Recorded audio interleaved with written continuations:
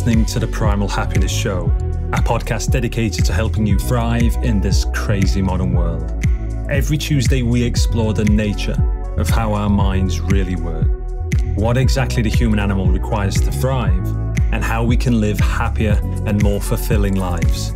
If you're new here and haven't yet taken our free class, then there's no better place to get a jump start on reclaiming your primal happiness. It's where we'll guide you step by step through our antidote to today's modern world.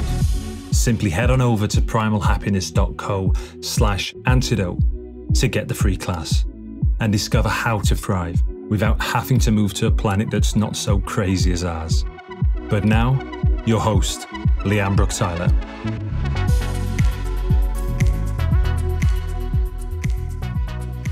Hello, my beautiful people. A huge one welcome back to the show. In today's crazy modern world, men and women are living shallow, disconnected, and unfulfilling lives. So, we created the path for those who are ready to reclaim their wildness and actualize their deepest gifts. The next crucible we'll be opening will be Waking the Wild Sovereign in June. As ever, spaces will go fast. So, if you are feeling the call to rise into sovereignty and actualize your inner king or queen archetype, then register your interest at primalhappiness.co slash WTWS and you'll be the first to know when we open for enrollment. And if you just generally want to be in our field, know what we're up to, know what we're offering, know what's coming next, then do join our Facebook group, which is facebook.com slash group slash primal happiness, and get our Moonly newsletter, which comes out on the full and new moon, hence the name. And you can subscribe to that at primalhappiness.co slash moonly. And now into this week's show. It's with Susan Guner. Susan is a trained somatic trauma informed holistic psychotherapist with a mindful based approach grounded in transpersonal psychology that focuses on holistic perspective through introspection, insight, and compassionate self exploration to increase self awareness, allowing the integration of the mind, body, and spirit aspects of the human experience in personal growth and development. In this show, we explored how Susan arrived at working with microdosing after a long experience of using traditional therapies and somatic work to heal trauma, the dangers of taking big doses of psychedelics, and how we can use microdosing in an effective and safe way. This is such a deep conversation. We went into places that are relevant and I'd say really first principles to all kinds of healing and change work. So, whether you're interested in psychedelics and microdosing or not, I suspect you'll find this an enriching and insightful conversation. Let's dive in. Hello, Susan. A huge welcome to the show. Thank you so much, Lian, for inviting me. Such a pleasure to be here. Mm, oh, my goodness. It really is a pleasure and an honor here, too. Um, we were just chatting about how we got connected, and it was through a dear friend and beloved client and uh, she was absolutely raving about you and and the work she's done with you so i was like oh yes we definitely need to get susan on the show and i was just also saying to you despite the fact we've done several episodes over the years on kind of related topics we've never directly spoken about microdosing um, at all i don't think um, let alone the conversation we're going to be having around integration. So uh, it feels so timely. Um, so yeah, it really like the pleasure is all mine. Thanks so much. Thank you. So I'm dying to know, and I've intentionally not asked you this until this moment. How did you come here? How did you get to the place where microdosing is your work, your passion, yeah, it's not exactly an average thing. Even like my guests do all sorts of weird and wonderful things, but I haven't yet come across someone who is doing this as their kind of, you know, real passion. So how what brought you here?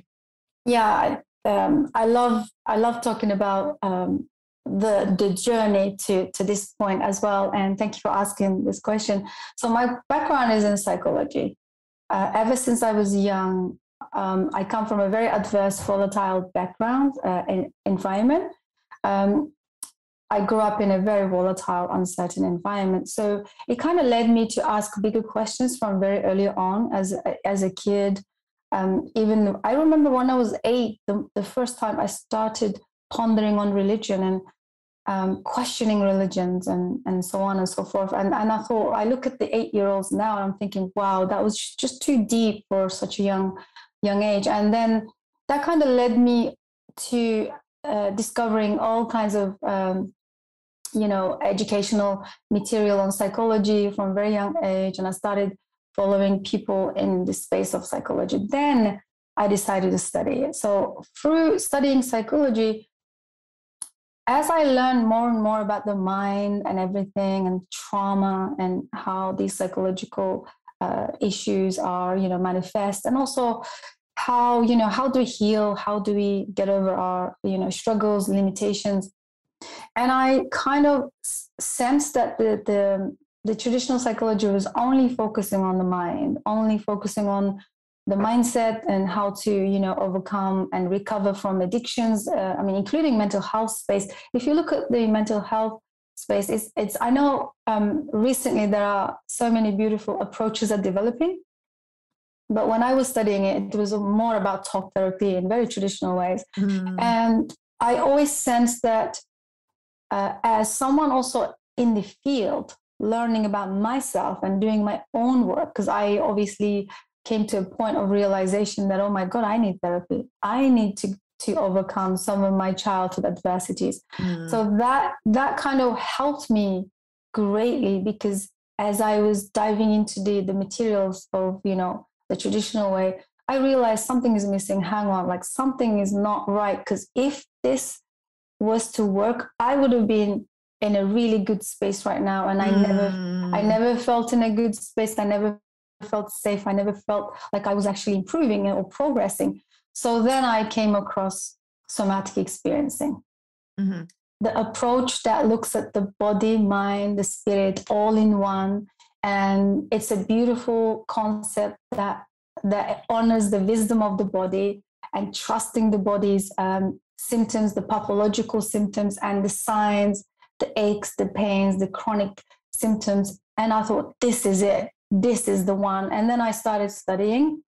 The founder of the um, somatic experiencing, Dr. Peter Levine, I literally consumed all of his material and I was following everyone along those lines that were in the somatic experiencing. Then I came across another doctor who's in the uh, trauma informed or trauma research study Dr. Bessel van der Kolk. Um, mm. He literally now his book is just continually being the number one bestseller globally. It's incredible.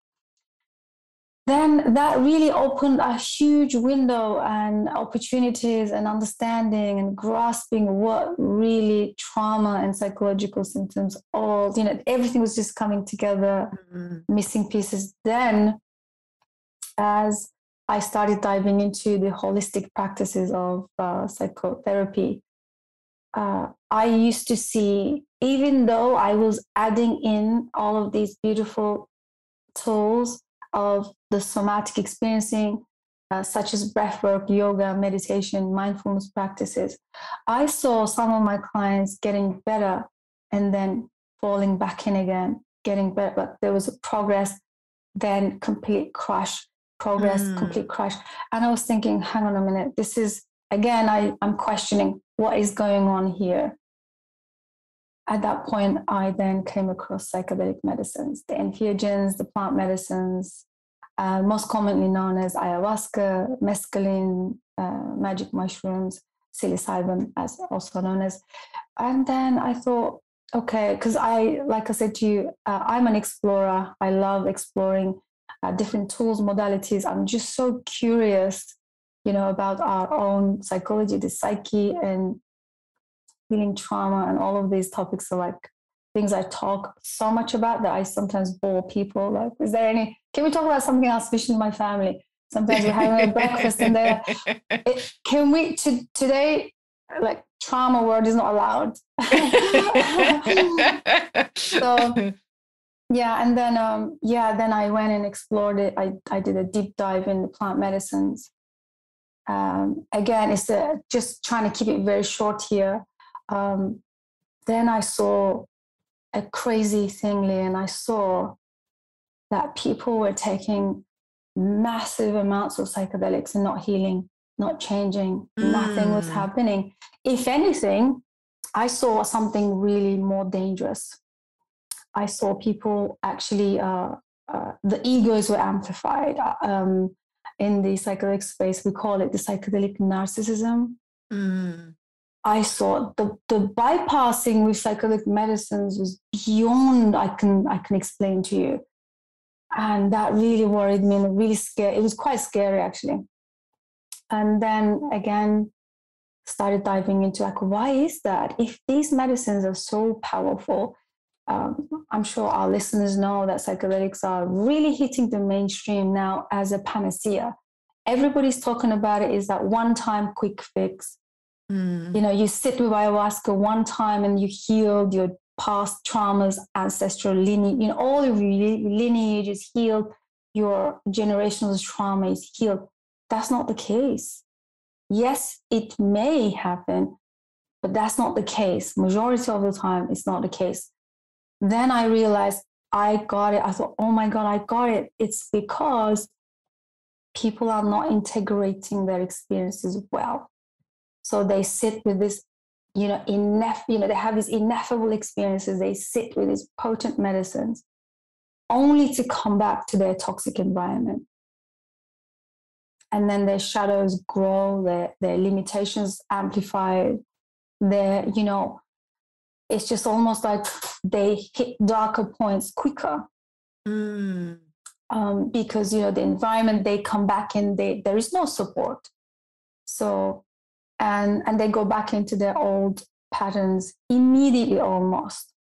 Mm. So, so then while researching and studying all of these aspects of the medicine, the psychology, all of it to put together, now I was thinking, what's going on here? What can we bring into the space that can actually break down all of these structures and forms. And maybe like what can we do to really help us break down these little patterns beliefs limitations that are all manifested through experiences suppressed trauma stuck energy whatever we want to call it. In this space we can talk about so many different things but then i came across microdosing through through a native shaman in the us I saw him talk about it on social media and I started listening.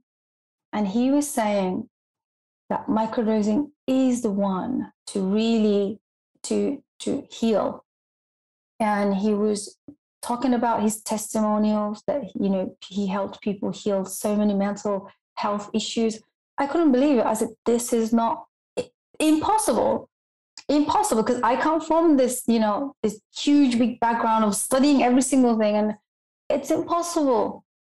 Then my curiosity got the better of me, and I contacted them and I said, I want to try some. And please guide me how I can explore this because I'm in this space where I'm just continually studying and researching new modalities. And Lee, I can't tell you, one cycle of microdosing changed everything for me. Literally turned my world upside down. I saw my patterns for for real for the first time. Mm. It wow. revealed mm-hmm. it, it revealed the way that I was bypassing the work, revealed all of my distractions, revealed my attachments. I it was so overwhelming and and I'm thinking, wow, I, it's so overwhelming. Yet I am a professional. I know this. I know this space. This is my territory. Yet I was overwhelmed. Yet I was struggling. It was almost like meeting the, the truth for the first time, meeting myself for the mm. first time. So the microdosing literally ripped away all the delusional, you know, filters. Mm. And I, for the first time, I saw myself. It was quite painful it, the process almost felt like being skinned alive. Mm, I had that image come to my mind as soon as you said that. Yes. Yeah. Mm. Then I thought, oh my goodness, if if coming from a professional background, if I feel this way, I can't imagine a ordinary person who who has no idea about how our psyche and you know the, the, the things that we mm. know the i know that many people are in the self development space they have access to mindfulness practices yoga all kinds of things but it wasn't enough mm. then i decided this work has to be done in a safe container with other people and that's mm. how the microdosing integration program was born so that's oh, in a wow. nutshell in a nutshell that's me Oh, thank you. I'm glad that you you you allowed yourself to kind of go a bit bit further with the uh, your own personal experiences and all the places that's taken you. There's so much in your journey that I also relate to. Um, yeah, wow, it's so fascinating, isn't it? How I think those of us that came into this lifetime with this sense of um, wanting to understand, wanting to be of service, and how we kind of keep coming across another thing and say, This is it, this is the answer.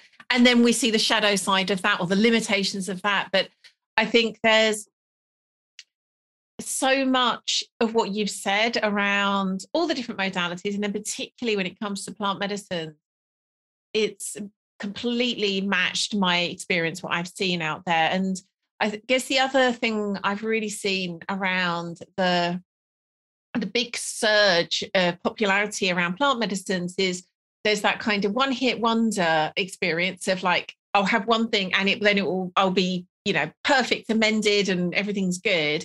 And then there's the other kind of almost like it's not seeking a high but that kind of like keep going back and you know drinking as much ayahuasca as possible.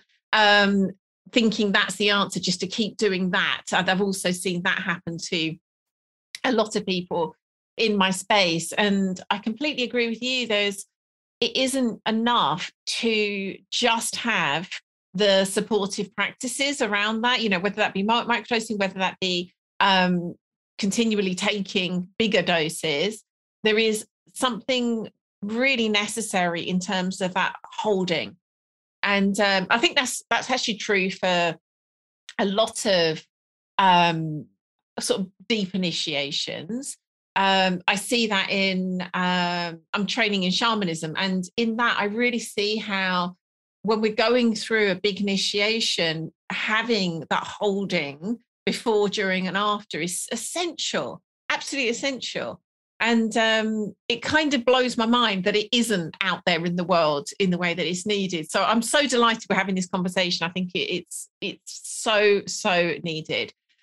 So um, where to, where to start from here? So i think what would be really helpful you've touched at a kind of um, a, a high level with the um, benefits of microdosing I would love to spend a little bit of time understanding, I guess, you know, what do you see is happening? What what's the science say? What's your personal experience say? You know, why is that creating this kind of being skinned alive, revealing all of our patterns? What's going on there? Um, I guess that that would be the place I'd like to start. Just understanding more about the power of microdosing. Yeah, great question.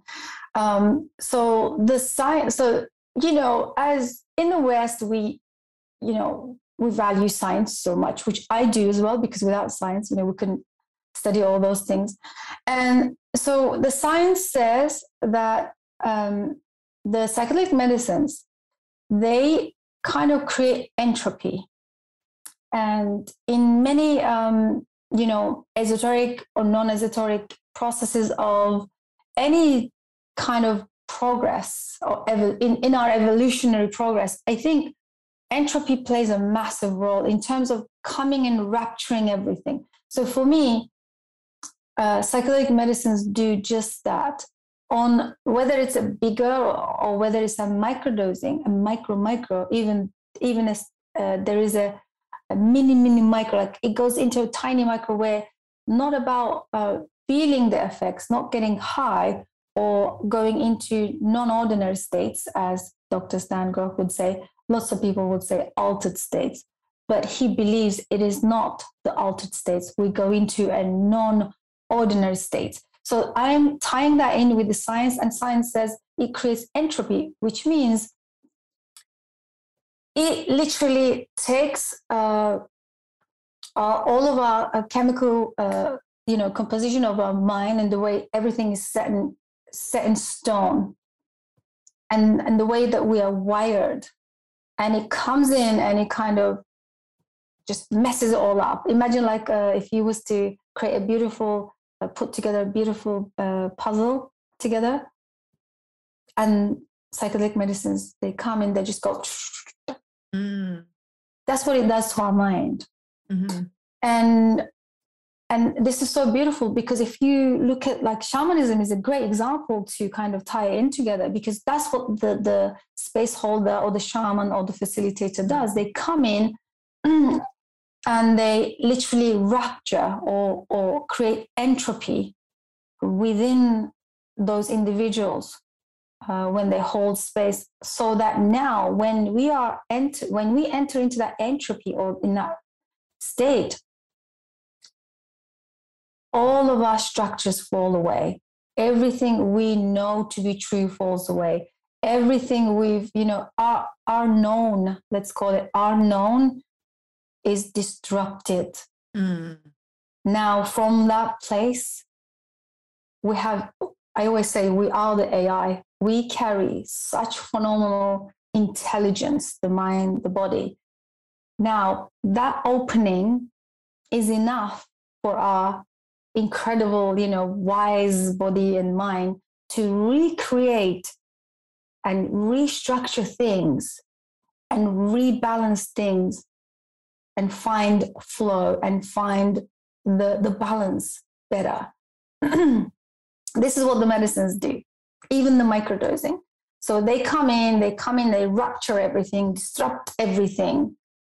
And then we are now thrown into the unknown a little bit. So in that window, then we have a, a choice or, or, or opportunity to grow from there and really make a huge steps in progressing, healing, um, or entering into flow states, uh, whatever the, the need uh, for the individual. Because everybody comes to the medicines with different intention. Not everybody comes into the medicine space with uh, intention of healing trauma. It could be just wanting to build confidence or just wanting focus or clarity or some maybe answers uh, going forward in their life and their life decisions. So everybody has their own intentions to come, but the, the, the brilliant thing is that they will do exactly what the person needs in mm. that moment. Mm-hmm. And not necessarily what the person thought they needed. Exactly. So mm. these medicines somehow there is a greater intelligence. Um, you know, we believe that the medicines are sentient. So there is mm-hmm. a greater intelligence that when they come in touch or contact with our intelligence as the AI that we are, something incredible happens beyond our comprehension. And because of the legal landscape of the medicines, unfortunately, we're so behind in research.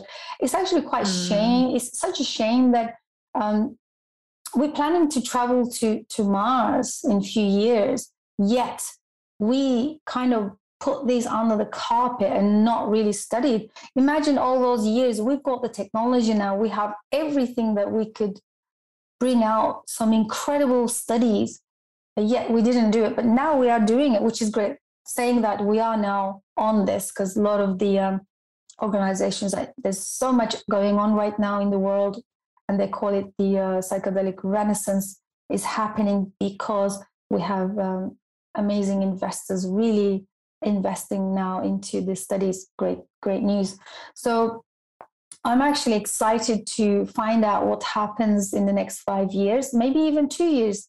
I think we're going to have at mm. least a good understanding of what they are. But for it, my own experience, this is what they are simple, simple way to explain is they come in and they disrupt the known. Now you are left with to recreate something that's more in balance and aligned. Mm. Um, so that's why the container.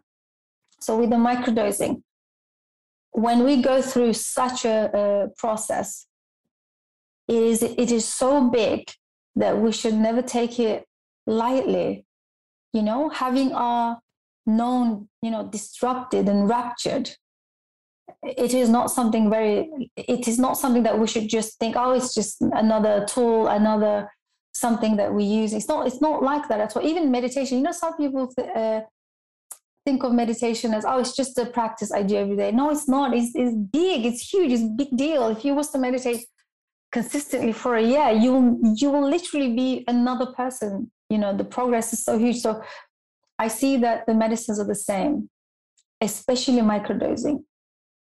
A one cycle of microdosing would be six weeks, uh, which is based on Dr. James Fadiman's. Uh, that's what he proposed because he is the guy behind the microdosing movement that probably mm-hmm. started around nearly a decade ago now. And, you know, a six week cycle of microdosing is, is, is perfect to really allow that that disruption to come come in and and then um, allowing ourselves to rebuild everything from that. But then the container that comes with it is huge because when we are doing this in our own usual ordinary environment at some point you know our bodies are so adaptive it will suppress. You won't allow mm. the medicine to work. You won't allow yourself to go through that disruption. You won't allow yourself to, you know, go through the process the microdosing needs to take you through because we have the ability to resist, block, and suppress anything that comes from the outside. Mm. Yes, it's not like we're wired to say, oh, yes, change and disruption, goody. Yeah. It's the opposite. yes, very, very well said. Mm, wonderful. So, just before we talk about kind of what what's needed, what's it needed to be put in place to allow for that kind of healthy integration. Um, just talking about the, I guess, those patterns that are being revealed. You've mentioned uh, trauma already and how your family ban you from saying it, but let, let's go there. Are you seeing that, um, you know, most, all, uh, you know, some of those patterns are created by trauma? Like what are that, what create, puts those patterns in place in, in the system in the first place? Yeah, so let's talk about the somatic experiencing in this uh, uh, for this uh, question now. I think it's a great time to bring in the somatic. So, what I understand with the microdosing, let's um, put aside all of the big experiences, you know, the ayahuasca and, and other other big, big, big doses and other experiences, the ritualistic ones. Um, I just want to here just really focus on the microdosing um, for our listeners, if you guys never heard of the microdosing, it's literally a tiny, tiny amount of uh, psychedelic medicine you take uh, only twice a week, by the way. It's not something you take every day either, because again, our body is so intelligent, it will start to build tolerance. So you you won't then have you know receive any benefits at all. Mm. So it is something you don't take every day. It's something that you could take maybe two times a week, the max um, imagine a tiny dose. So, um, so um, coming back to the somatic experiencing, what happens is that I also follow after studying somatic experiencing for so long and our early developmental traumas and environment. I then discovered Dr. Stan Grof's work, which he talks about the perinatal trauma. Mm-hmm. He talks about he talks about some incredible stuff around the the the the um, clinical birthing actually being the ultimate trauma for the baby. Mm. Um, and he says it's not even that; it actually starts in utero. It's like goes beyond the birthing, the clinical birthing process. And he says that the the birthing process is actually the biggest assault on the baby because wow. some yeah mm-hmm. some babies you know they they get stuck in the birthing canal or they get you know they get pulled out or, or um, cesarean or all kinds of complications. Uh, sometimes babies um, have the umbilical cord around their neck or you know all kinds of compl- complications and he believes that the trauma actually starts right there mm. if not before because um, mothers are so sacred and important during the pregnancy and if they are in an environment where it's um, uncertain, violent, they're in toxic partnership uh, relationship uh, or adversity um, is that's where actually the trauma begins. He he proposes that's where it begins, because during his um, psychedelic assisted therapies, thousands of times he it was it was so evident in his work that people would directly go there. Mm. They would go to the utero. They would go to the birthing, initial birth, They would remember things that uh, the you know they they shouldn't have none of us should have remembered. And there was one case that I was fascinated when he said a lady would, hear things uh, during, you know, in the womb. There were very clear words. And during the therapy session with psychedelic medicine, she remembered everything. And she went and confronted the mother, and her mother couldn't believe there was no way she could have accessed this information. Wow. So, so yeah. So she was um, in a very toxic relationship, and there was a lot of violent arguments during her pregnancy. Mm. That traumatized, traumatized the baby. Mm. so then let's pick it up from there. And the perinatal trauma is huge. Uh, the clinical uh, birthing process that creates all those trauma. Dr. Stan, you know, he pro- proposes that that defines the the traumas of the latest stage. So mm. in a, in a way, he says, for example, there's one example that moves me so much. He said, if a baby was stuck in a birthing canal and stopped breathing for a moment, and they will become adults forever suffering from anxiety mm. from that one moment of, you know, mm all these things and then uh, that will become the blueprint that will then manifest events relationships situations that would then support that initial uh, trauma and continually manifest events mm. situations that would continually be the extension of what the baby experienced during the perinatal process yeah that really makes sense mm-hmm. but then, and i think yeah. it feels helpful to say and that can be addressed you know hence why we're having this conversation about microdosing yeah, exactly yes. and then of and of course there's a whole world of the early trauma right the childhood mm. trauma that every single one of us you know we know um uh, you know one of my phrases that uh, sometimes not received really well that we are all trauma survivors whether we accept it or not because mm. trauma is not actually what happens outside of us but what happens inside of us the, you know, how we perceive it within us. Again, this comes back to Dr. Bessel's work. He said uh, there would be a child in Syria, um, you know, seeing his house blown apart and, and mother dying or something like that. And he will suffer tremendously from PTSD and many other, uh, situ- you know, um, mental disorders. Yet another child in the Western world in a comfortable house, secure, great parents, mm-hmm. and he will lose his favorite toy and he will go through the same PTSD, mm. the anxiety, the trauma. And I think this is um, is also to bring in the fact that it's not that it's uh, my sense is that it's kind of natural to humans to have this deeply traumatic childhood. It feels to me that a lot of that is the product of the world that we're living in isn't conducive to humans being kind of, as you say, created in the womb, being birthed in a way that's supportive of them being this kind of thriving uh, human, and then just the disconnected way we're living in. And so I really agree. And I think that's so, is so the water we're swimming in is so easy yeah. to miss and the impact yeah. that's having. Exactly. And then mm. we can take this then to um, why we have all these patterns, why we suffer from uh, self-loathing and um, you know lack of self-confidence uh, self-esteem and you know imposter syndrome. I know amazing people in the space of healing or you know leadership and they suffer tremendously from imposter syndrome that they're not good at it or, or they they just they feel like a fraud.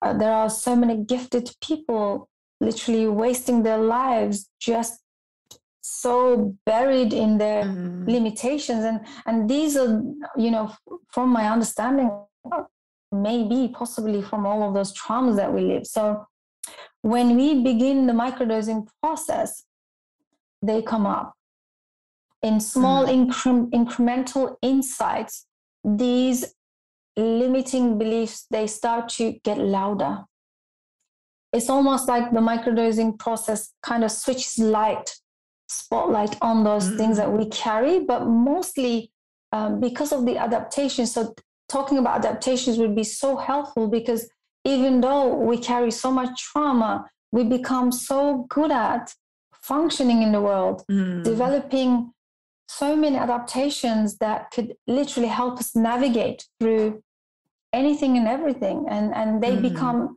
these adaptations they become so strong and wired in in that it, it it's almost impossible to break them down through talking therapy or anything else. It needs to be felt. So so what i always say uh, through the integration process of microdosing is that we need to induce another uh, uh, trauma within meaning mm-hmm. we need to that's the entropy part because the microdosing already provides the destruction. So creates that outlet so what we do is we use that outlet then to allow ourselves to be in that fire feel really bad and really immerse and sit with all the pain all of the things that surface which is not common by the way in the um, self development space where it's kind of we've been sold to believe that healing comes easy and we can mm. change change your mindset change your life which is true to a degree but if somebody is greatly suffering and they have developed you know tremendous pathological symptoms you cannot tell that person to change their mind to change their life it's impossible mm-hmm. they need to yeah mm-hmm. they need to they need to build inner capacity in order. So mm. what one of the, the beautiful things that microdosing does is helps us build inner capacity slowly without us realizing. So by the end of your cycle, you won't believe how much courage you developed that now you feel like you can have that difficult conversation with that person that you can now uh, you know take action on that decision that you've been procrastinating on or you can now you know you know when um, one of the the most popular ones uh, people move countries when they microdose they, they now suddenly feel like they can do it and they've been wanting this for so long they could never bring themselves to do it one i remember one cycle of um, uh, the the program a lady said, I'm going to sell my business. And this was like a 30 year, year massively successful business. And I was saying, please don't make decisions like radical decisions while you're microdosing. At least wait um, for a while. At least really kind of, you know, reflect on it if it's the right decision. But she was like, no, no, no, I'm 100% this is the right thing. so it kind of gives that mm. level of clarity and helps you move forward. Yeah. Wow. Yes. Yes. So uh, this is this is such a wonderful conversation, but we're fast at coming to the end of the show, and I really want to get into um, what for you does good integration look like? What's required in that container? Yeah. So integration, I'm a huge believer in communities. Mm-hmm. I think I think this pandemic has also proved to us and shown us that we need to come together. I yes. think um, we are socially wired and especially the healing work or trauma work we cannot do mm. alone we definitely need a container so and i look at my own experiences in the past and i think wow all of my biggest breakthroughs always came through when i was in a safe container with other people doing yes. similar things mm-hmm. right so I love it. Can I just say, I love that you're saying this because over the years, um, Jonathan, the co-founder of Primal Happiness, and I kept noticing like that's the ingredient that is so often missing in yeah. You know all kinds of work, change work, healing work, and. Mm-hmm. for that reason, we are now including some form of circle in all the work we do because it just seems that that's the ingredient that allows, you know, that real potency of change to happen. Um, mm-hmm. And again, it makes so much sense when you consider like that's our natural environment. Why would that not be needed here when mm-hmm. it's the, you know, the most challenging experiences most of us will have? So I love that you said that. Yeah, community mm. is number one. My my mm. highest highest priority in anything I create. I love creating. You know, um, at a time when the pandemic kicked off, um, I was finding uh, immense uh, value in just meditating daily, and I thought we need to do this together with other people. Like if I can, uh, you know, be calm in this crazy pandemic uh, unfolding, then I need to, I need to, we need to sit together. So I created this Facebook group and I launched this 21 day meditation challenge. And I said, come and sit with me. And I would just literally um, launch, a, launch the Zoom and then, sorry, um, I just um, distracted there. So I would just That's literally, okay. literally like, um, I would literally just uh, launch the Zoom link and everybody would just jump in and we'll just sit there, sit there meditating 20 minutes closing our eyes, just connecting through the heart. It's like, wow, what a beautiful thing to do. Then this is what communities are needed. This is why we need to come together. And this is why we need to, you know, really sit together and witness each other, right? So that's the number one. And the mm-hmm. second one is have a amazing, super powerful tool that works for you. I, I don't recommend microdosing to everybody because it's not for everybody. But if it is, then this is your tool. So find something. It could even be a meditation practice. It could even be yoga practice. It could even be something else, right? I always say, find a super powerful tool that really works with you. And the other one is sit with everything that comes up. Do not run away. Try to dip your toes into into that you know in, in those waters where usually you would find yourself distract run away you know mm-hmm. all those kind of things that we do escape.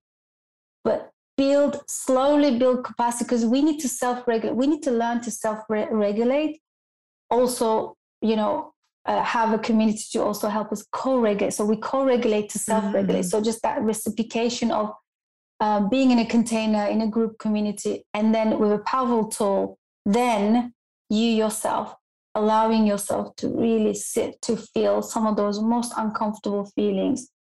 You don't have you don't have to intellectualize it. You don't have to reason with it. You don't have to do anything. If you can just sit with it for two minutes a day as they arise, because with the microdose, especially with the microdosing cycle, they arise daily, and mm-hmm. usual usually people would kind of try and distract, escape, and I always say, just sit with it. Like don't mm-hmm. don't look in the manual why. Just just just breathe through it. Just sit in mm-hmm. that fire for a couple of minutes and then see where it takes you. These are my mm. my ideal three ingredients. Wonderful. Mm. So is there anything is there anything else that you feel would be helpful for someone listening that either perhaps has um, already explored microdosing but perhaps hasn't been aware of some of the aspects you've spoken about that uh, you see are, are important or perhaps someone that's brand new to it and has heard something in what you're saying is like, oh, goody, you know, like uh, this feels like it could be for me. Is there anything else that you feel would be helpful for them to know? Yeah, so the microdosing, um, like I said earlier, it's not for everybody. And a lot of people talk to me about, you know, they had uh, experienced microdosing, they use microdosing, they are actually, I even had conversations with people been on um, microdosing for a year.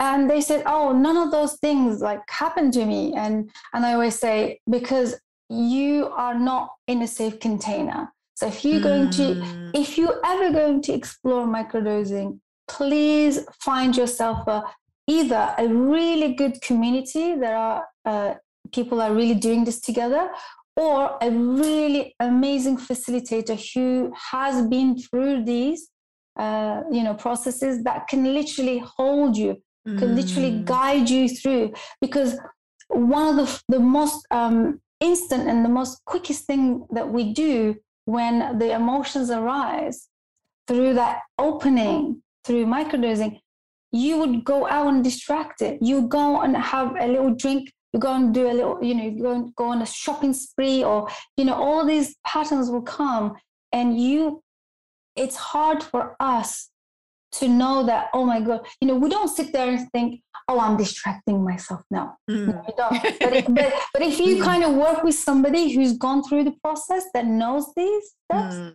they can say to you no yeah sit with it and then let's talk i will sit with you like we've got such a beautiful community and when somebody you know has to face those arising emotions the discomfortable you know that, that discomfort um, I encourage them to come and share it in the group. So if, if, if one participant shares something like that, guess what? Everybody jumps in and says, we're here, we're sitting with you through this mm, fire.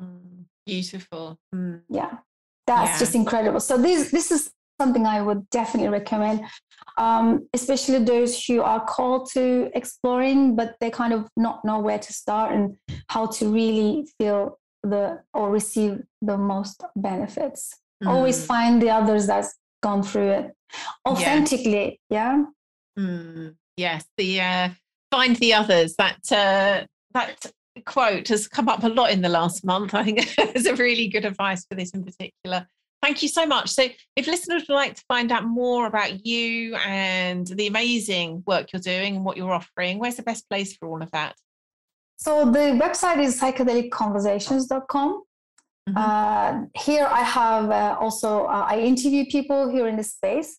I sit down with people. Uh, purely the intention is to, um, you know, put out as much content on education on this uh, super powerful medicines.